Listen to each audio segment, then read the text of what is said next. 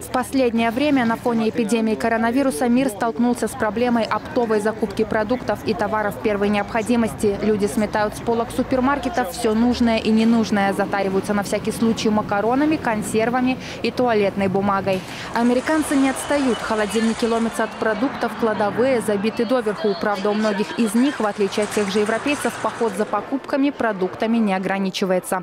Вот факт. Продажа оружия в Штатах за последние два месяца взлетела на более чем 300% по сравнению с этим же периодом прошлого года. В оружейных магазинах отмечают, такое увеличение объема продаж является беспрецедентным. Когда мы открыли двери нашего магазина в 10 часов утра, там была огромная очередь покупателей. Их было не меньше ста. Если в Китае в разгар эпидемии подобные очереди выстраивались в аптеке за масками, в США люди готовы выстоять несколько часов ради покупки винтовки. По данным газеты New York Times, только за март в Штатах продано почти 2 миллиона единиц огнестрельного оружия. В чем же причина столь резкой нужды? Основная состоит в том, что американцы попросту боятся роста преступности. И такие опасения не напрасны. Власти США распорядились выпустить из тюрем на свободу заключенных. Неслыханные ранее меры предприняли из-за боязни того, что закрытые учреждения в условиях эпидемии коронавируса могут превратиться в один огромный очаг распространения COVID-19. Коронавирус стал причиной опасностей, с которыми сейчас сталкиваются тюрьмы, центры содержания мигрантов, а также дома для престарелых, психиатрические больницы и другие закрытые центры. Как вы знаете, места содержания под стражей во многих странах переполнены, а в некоторых случаях чрезвычайно. Физическое дистанцирование и самоизоляция в таких условиях практически невозможны. Поэтому мы призываем правительство принять срочные меры для защиты здоровья здоровья и безопасности лиц, находящихся под стражей. Видимо, прислушавшись к рекомендациям ООН, американские власти начинают отпускать на свободу сотни уже бывших заключенных. Например, в Техасе освобождают всех тех, чей срок подходит к концу. В штатах Флорида, Вашингтон и Алабама местные тюрьмы должны покинуть осужденные по обвинениям в ненасильственных преступлениях, нарушении правил дорожного движения или правил условно-досрочного освобождения. Кроме того, освобождают пожилых и испытывающих проблемы со здоровьем. Вот и получается, за считанные дни на улицах США внезапно появились тысячи уголовников. Конечно, большая часть из них с точки зрения властей не опасна, но как результат у оружейных толпы простых американцев. Я хочу просто защищать свою семью. У меня есть пистолет дома, но на случай, если сейчас все оружейные пустеют, я еще куплю. Я должен убедиться, что готов ко всему.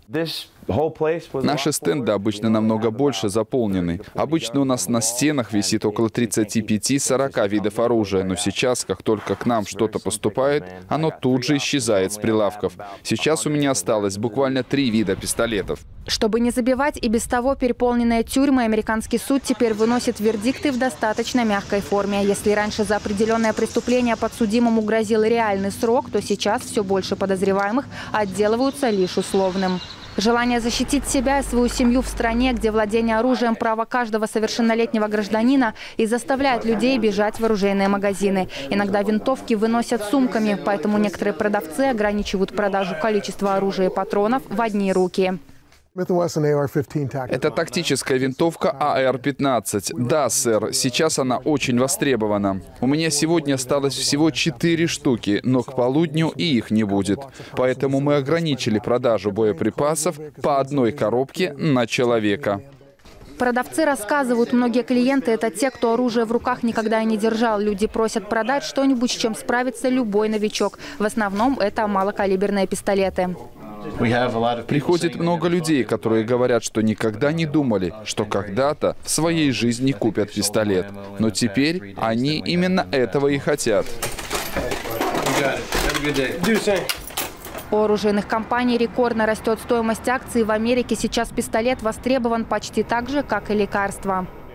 Производителям боеприпасов сейчас приходится работать сверхурочно, поэтому нам необходимо за это доплачивать. Поэтому некоторые компоненты боеприпасов значительно подорожали.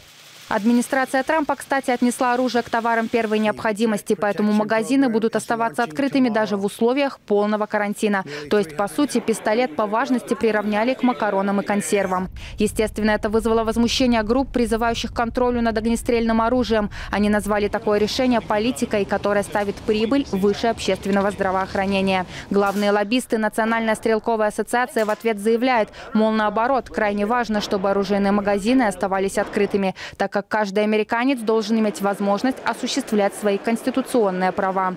Споры между теми, кто выступает против бесконечного вооружения рядовых американцев и между теми, кто считает оружие несокрушимым правом каждого гражданина, идут давно.